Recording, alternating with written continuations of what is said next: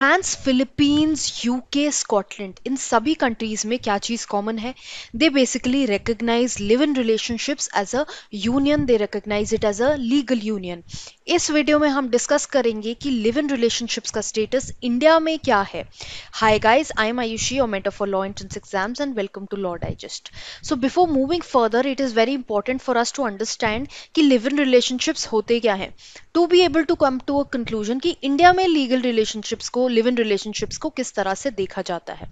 तो live in relationship basically एक arrangement है, जहाँ पर जो अनमैरिड कपल होता है, वो साथ में रहता है।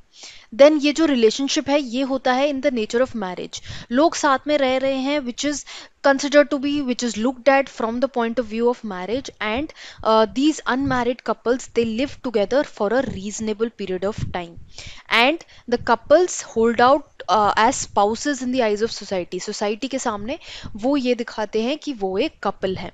तो ये बेसिकली एक अंडरस्टैंडिंग है लिव इन रिलेशनशिप की.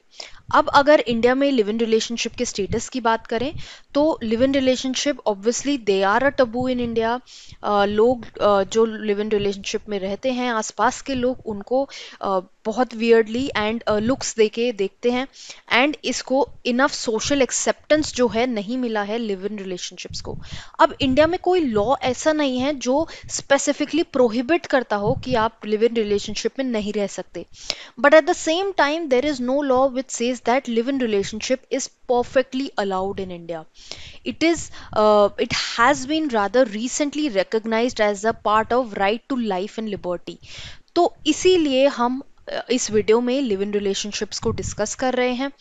मूविंग फर्दर देखते हैं कि लिव इन रिलेशनशिप किस तरह से उसको एक मैरिज की नेचर से देखा जाता है। Through different judicial precedents different cases के थ्रू ये रिकग्नाइज किया गया है कि ये एक मैरिज की ही नेचर का होता है as it concerns the right to life of two people then it is recognise as a common law marriage common law marriage की तरह से इसको देखा जाता है. Then there are certain factors which have been laid down by the Supreme Court की ये fulfil होनी चाहिए, तभी वो रिलेशनशिप मैरिज की तरह देखा जाएगा. वो फैक्टर्स कौन से हैं?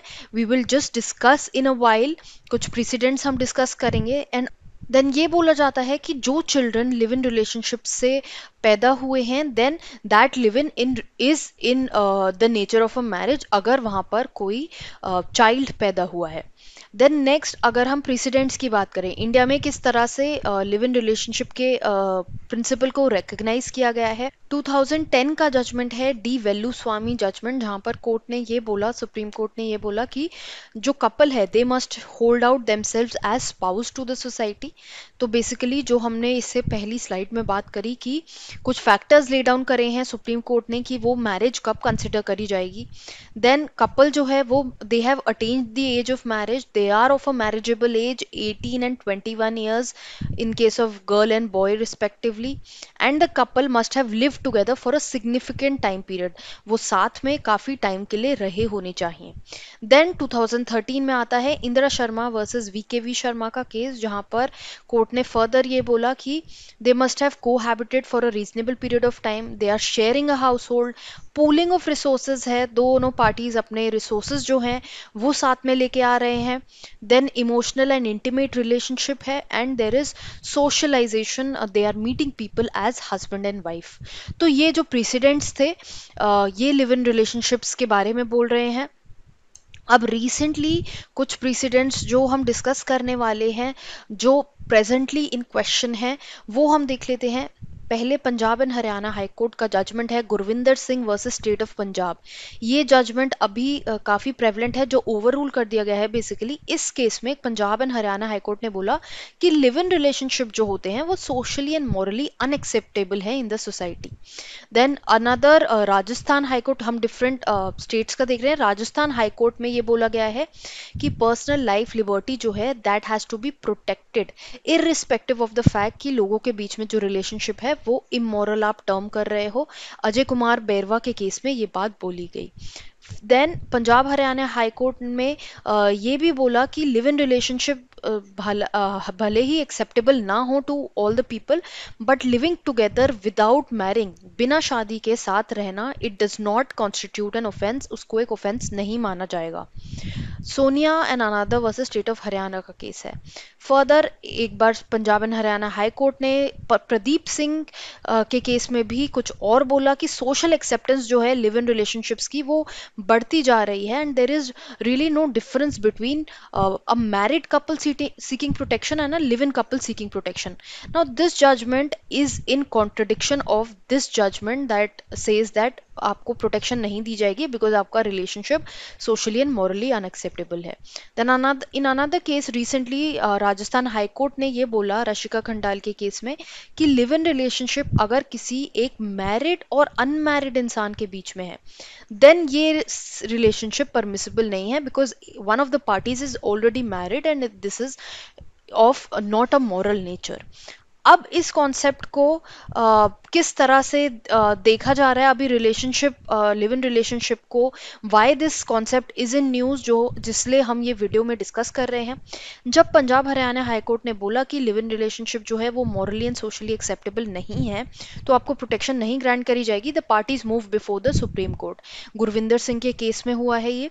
अब सुप्रीम कोर्ट ने क्या बोला? सुप्रीम कोर्ट ने प्रोटेक्शन ग्रांट किया against the judgment of the Punjab Haryana high court, Supreme Court ने बोला कि राइट टू लिव जो है विद वन पार्टनर ये आपकी चॉइस है। And it is a necessary coincident of the fact कि आपके पास right to life and liberty available है अंडर आर्टिकल 21 तो आपकी चॉइस है कि आप किसी के साथ भी रह सकते हैं।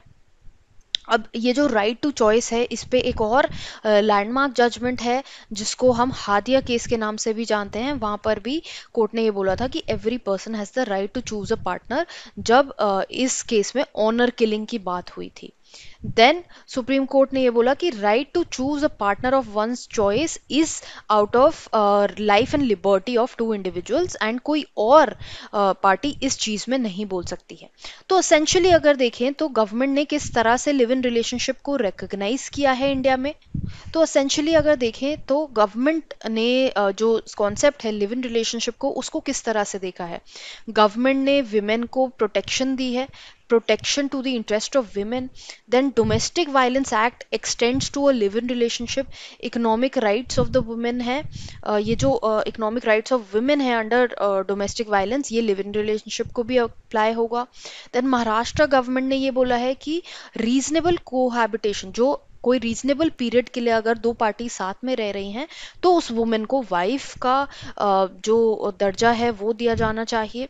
Then ministry of women and child development ने भी बोला है कि फीमेल लिव इन पार्टनर्स को एज वाइफ कंसिडर किया जाना चाहिए from the point of view of section 125 of CrPC that basically speaks of maintenance and further justice Malimath committee ने भी लिव इन रिलेशनशिप को लेके लॉ रिकमेंड किया है। जस्टिस जस्टिस मालिमत कमिटी आई थी for the purposes of criminal reform earlier and इस committee ने लिव इन रिलेशनशिप को लेके भी लॉ के लिए बोला है।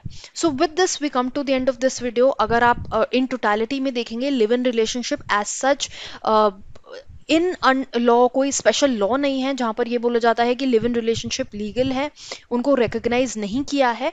हाउएवर जुडिशियल प्रेसिडेंट्स के थ्रू हम ये कह सकते हैं कि कोर्ट कंसिडर करता है कि ये जो लिव इन रिलेशनशिप्स हैं, ये हमारे राइट टू लाइफ का पार्ट है। And apart from this protection कोई अगर कपल सीख करता है तो वो ग्रांट किया जाना चाहिए, जो कि एक रीसेंट केस में बोला गया है। तो ये था हमारा status of live in relationships in India अगर आपको इसके रिस्पेक्ट में कोई क्वेरी है, कोई डाउट है, या आपका क्या व्यू है लिव इन रिलेशनशिप्स को लेके, किस तरह से लॉ इस पे आना चाहिए you can mention the same in the comment box below and do subscribe to a channel for more such informative videos and if you are looking for informative content you can also follow us on Instagram.